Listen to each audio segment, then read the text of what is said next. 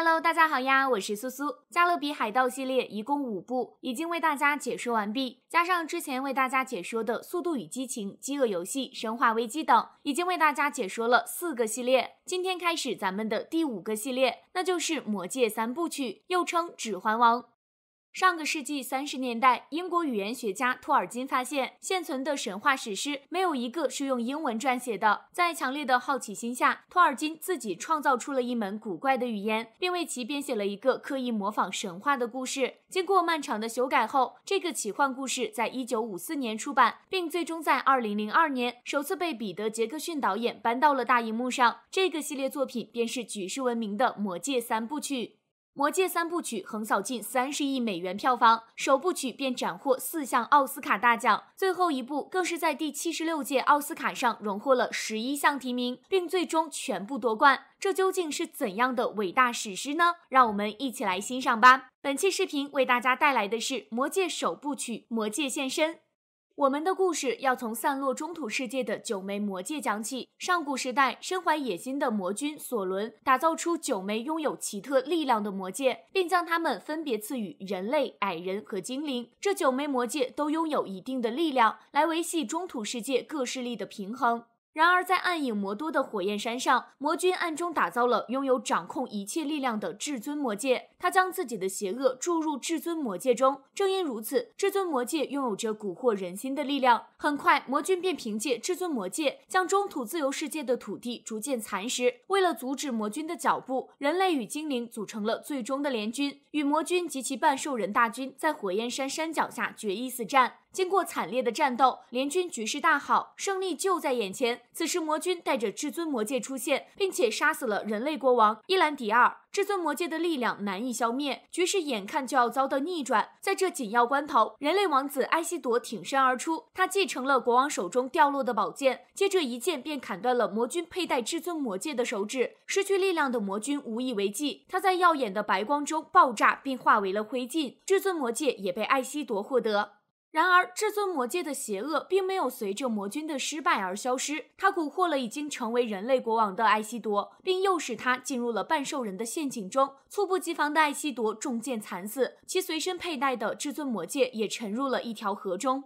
又过了两千五百年，沉浸在河沙中的至尊魔戒被小怪兽古鲁姆偶然得到。至尊魔戒拥有使人长生不老的力量。古鲁姆将其带到了迷宫山的隧道深处，爱不释手的把玩魔戒长达五百年。在这个过程中，至尊魔戒不断的荼毒蛊惑古鲁姆的心灵，并伺机重返中土世界。终于有一天，从遥远的地方传来了邪恶归来的谣言，中土世界一时间充满着恐惧，人人自危。至尊魔戒感到了邪恶重返的时机已经成熟，于是他抛弃了古鲁姆，随即找到了新的主人霍比特人比尔博。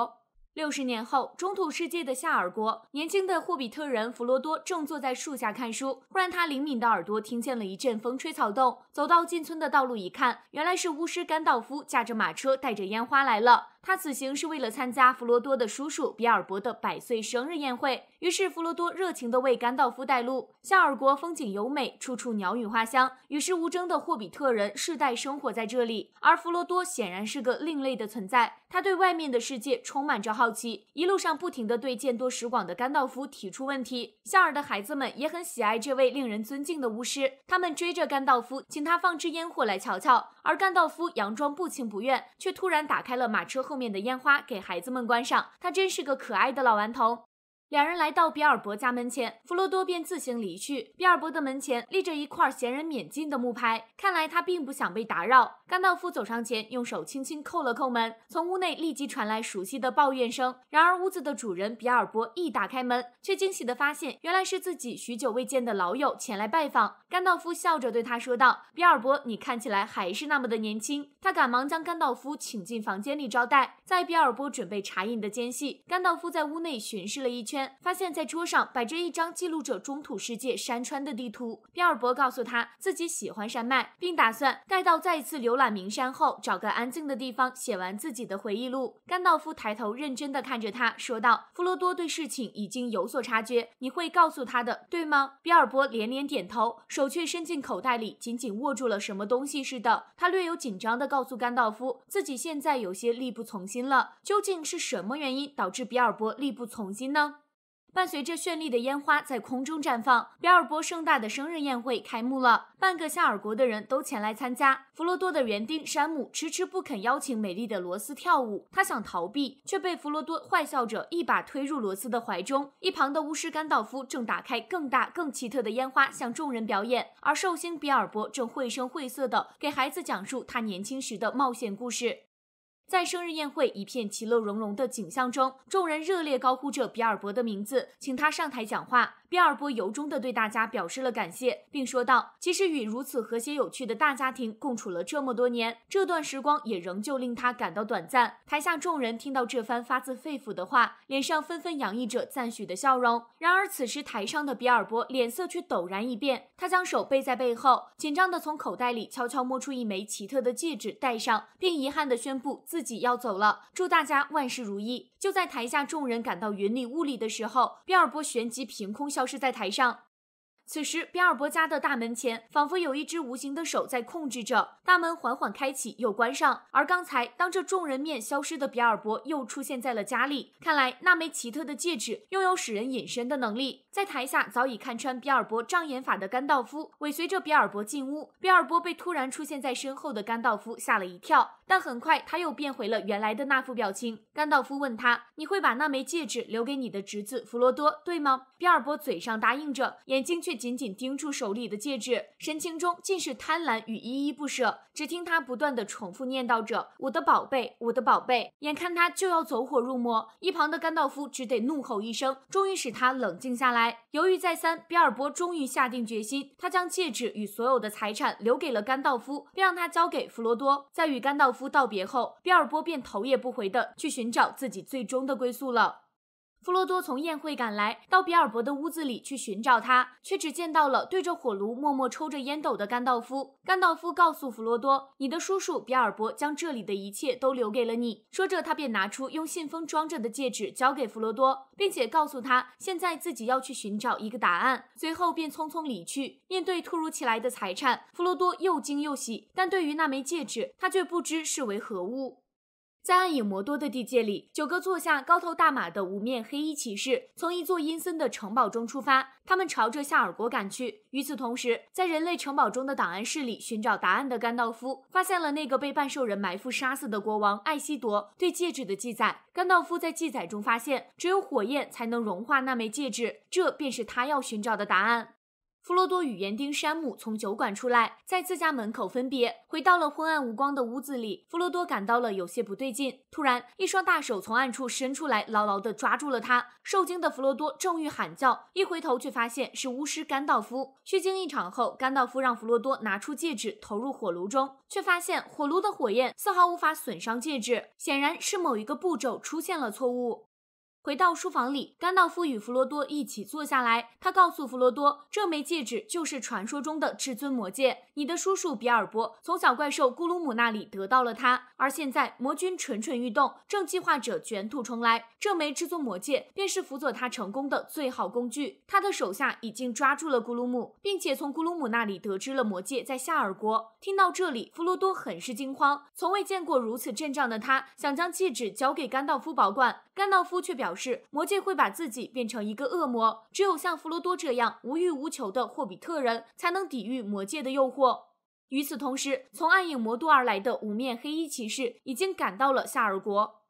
这边，甘道夫告诉弗罗多一个名叫布里的地方，并说自己会在那里的烈马酒吧与其会合。在此之前，他还要先去寻找巫师的首领。正说着，窗外的一声响动惊起了两个人的注意，原来是弗罗多的园丁山姆。他偷听两个人的对话，被甘道夫抓了个正着。看着憨厚的山姆，甘道夫却并不打算放过他。第二天天不亮，弗罗多与甘道夫便朝着各自的目标出发。与弗罗多同行的还有山姆，他被甘道夫选中，成为了弗罗多的助手。对二人嘱咐一番后，甘道夫便自行离去。在弗罗多、山姆二人还在跋山涉水前往布里的途中，甘道夫已经赶到了艾辛格，寻找巫师首领萨鲁曼的帮助。萨鲁曼未卜先知，早已知道甘道夫此行的目的。在两个人的交谈中，一向正义的萨鲁曼却流露出了对魔君的崇拜之情，并告诉甘道夫，事情已经无力回天，九大戒灵已经化身为无面骑士的模样，前来寻找并且杀死至尊魔戒的持有者。我们唯一能做的就是臣服于魔君。察觉到情况不对的甘。甘道夫想要离开，却被已经弃明投案的萨鲁曼打败，并且关押起来。在路上，弗罗多和山姆又遇到了尾随他们的捣蛋鬼二人组，而追寻他们前来的戒灵也正在此时堵住了去路。经过一番斗智斗勇后，弗罗多与伙伴们跳上河边的船，逃离了戒灵的视线。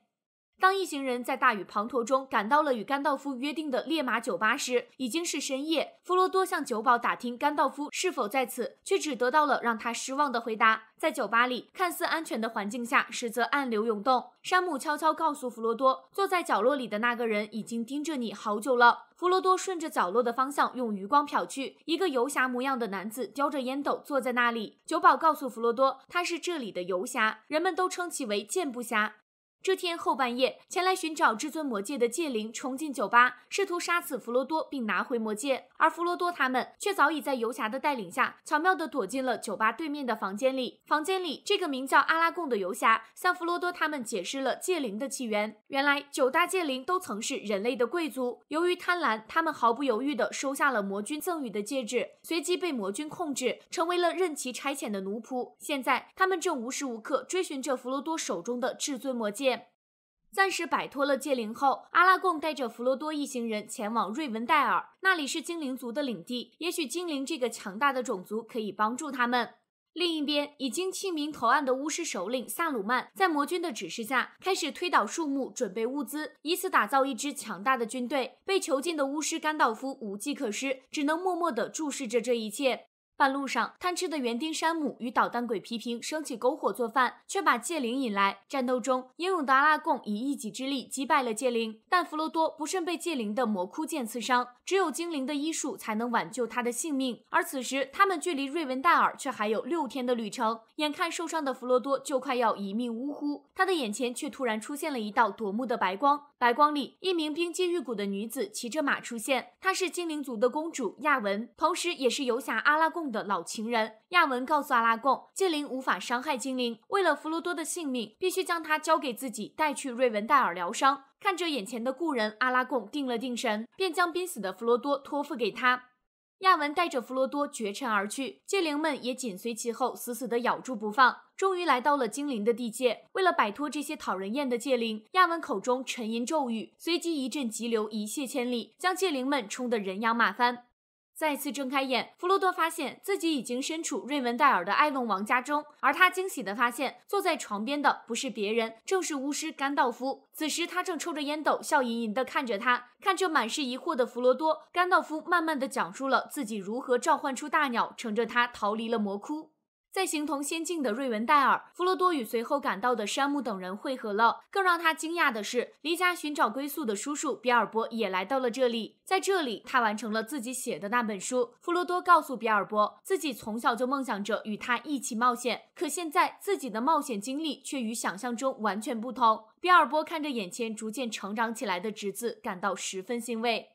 不久后，讨论如何抵挡魔君入侵的会议在露天的会议厅里召开。埃隆王对远道而来的新老朋友表示了欢迎，同时告诉大家，魔君的势力已经准备入侵，如果不联合起来，整个中土世界都将灭亡。而想要摧毁至尊魔戒，只有将其丢入锻造它的火焰山中这一种途径。这就意味着必须有人深入暗影魔多的腹地。众人对合适人选的问题起了争执，眼看就要打起来。在一旁坐着的看似最弱小的弗罗多。却站起来揽下了这个重任。就这样，在理事会一致通过的情况下，护戒使者九人组成立了。除弗罗多外，他们分别是人类王子阿拉贡与同族的博罗米尔、矮人金利、精灵王子莱格拉斯、巫师甘道夫，以及一路跟随弗罗多的园丁山姆、捣蛋鬼二人组。临行前，比尔博叔叔将自己的宝剑与银甲传给了弗罗多。这两件宝物在遇到危险时能发挥巨大的作用。很快，护戒使者们便踏上了未知而危险的旅途。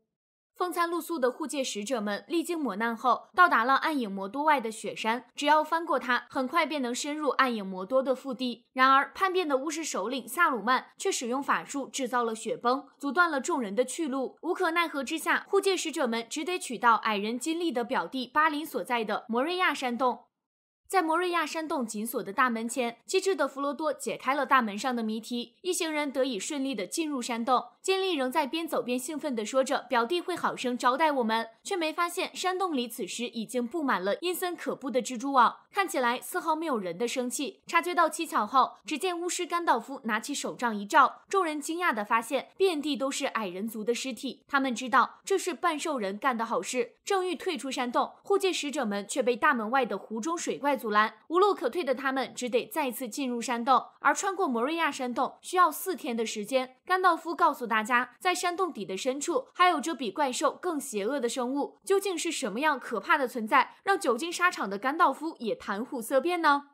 在一个分岔路口，众人停下脚步，等待甘道夫寻找道路。弗罗多却感觉到身后一直有双眼睛盯着自己。甘道夫告诉他，那就是小怪兽古鲁姆。他跟着护戒使者们好几天了，想要伺机夺回他的宝贝魔戒。弗罗多想要干掉他，甘道夫却说他还有利用价值。跟随着新鲜空气的味道，众人来到了洞底深处的摩瑞亚王国遗迹。在这里的一座房间内，金利发现了表弟巴林的棺木。意料之外却又情理之中的事实，令他十分悲痛。此时，捣蛋鬼皮平不慎将身旁的一副带甲古尸挤进了井里。这口井通往地底深处，随着古尸落地而来的是巨大的声响。一时间，大家屏气凝神，生怕引来半兽人或者其他怪物。但不幸的是，处于休眠状态的半兽人还是被惊动了。护戒使者们听到动静，立即锁上门，并且拿出武器，做好战斗准备。半兽人很快便借助人数优势冲破了房门，众人立刻迎敌。一番苦战后，半兽人悉数被消灭，但弗罗多也在战斗中被巨型半兽人刺中了腹部。就在大家伤心欲绝，以为弗罗多已经死去时，却惊讶地发现他身上穿着的银甲挽救了他的性命。护戒使者们不由得松了一口气。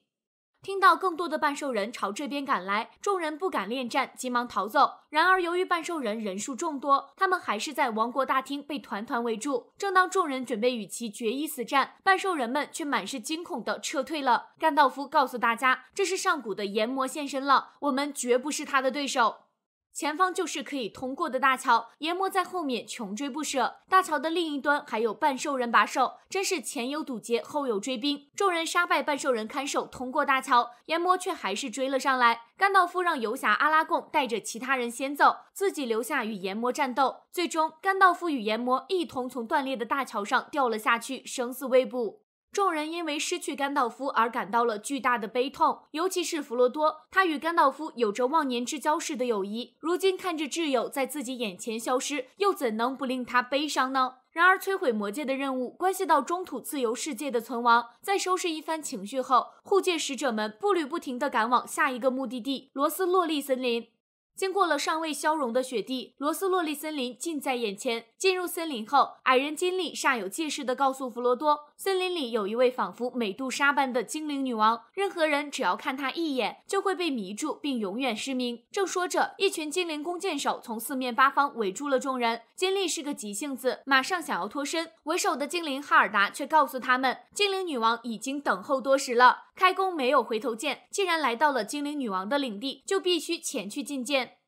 一行人在正厅见到了钟灵毓秀的森林女王，就连吹嘘自己毫不动摇的矮人金利也被她迷住了。女王仿佛会读心术似的，她不但知晓甘道夫陨落的事情，还看穿了在场每一位护戒使者的心灵。随后，她吩咐手下带着早已疲惫不堪的众人前去休息，而弗罗多却听到脑海中传来女王的声音。他告诉弗罗多，今晚前来某地与她相会。看来事情远没有表面上这般简单。